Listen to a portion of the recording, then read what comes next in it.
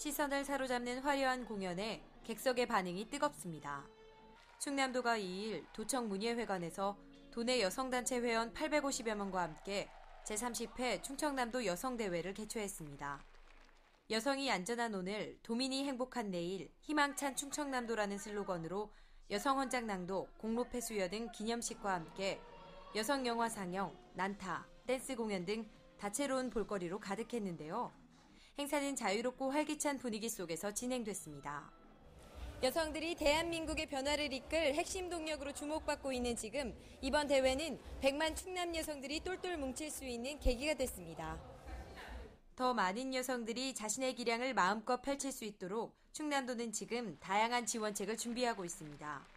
그 중에서도 특히 사대학 근절 노력과 함께 성폭력 예방 교육을 강화하는 등 여성은 물론 도내 가족 모두가 안전한 충남도를 만들기 위해 앞장설 계획입니다. CNI 뉴스 김나은입니다.